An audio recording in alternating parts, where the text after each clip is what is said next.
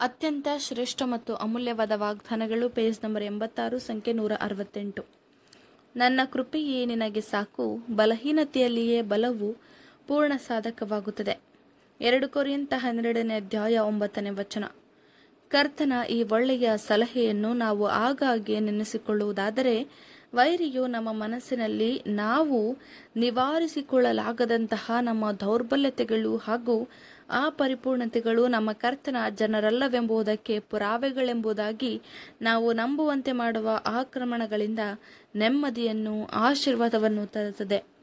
ಈ ಸಲಹೆಯು ನಮ್ಮ ಮುಂದೆ ಇದ್ದರೆ ಲೋಕದ, ಶರೀರದ ಹಾಗೂ ಸೈತಾನನ ಆಕ್ರಮಣದ ವಿರುದ್ಧವಾಗಿ ಹೋರಾಡಲು ಎಂತಹ ಬಲವು ನಮಗೆ ಸಿಗುವುದು? ಇದು ನಮ್ಮ ಶೋಧನೆಯ ಕಾಲದಲ್ಲಿ ನಮ್ಮ ಹೃದಯಗಳನ್ನು ಪ್ರಾರ್ಥನೆಯಲ್ಲಿ ಕರ್ತನ ಕಡೆ ಸಮಯೋಚಿತವಾದ ಸಹಾಯವು ನಮಗೆ ದೊರೆಯುವಂತೆಯೂ ಪ್ರೇರೇಪಿಸಿ ನಡೆಸಬೇಕು.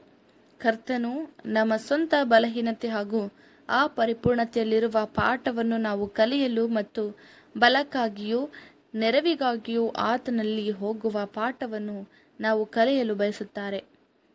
ನಮಗೆ ಅಗತ್ಯವಿರುವುದಕ್ಕಿಂತ ಮೊದಲು ಅಲ್ಲ, ಬದಲಾಗಿ ಸಮಯೋಚಿತವಾಗಿ ಎಲ್ಲ ಸಂಕಟ ವೇಳೆಯಲ್ಲಿ ಆತನ ಬಳಿಗೆ ಹೋಗುವುದನ್ನು ಸಹ ಕಲಿಸಿಕೊಡುತ್ತದೆ. ಆಮೇಲೆ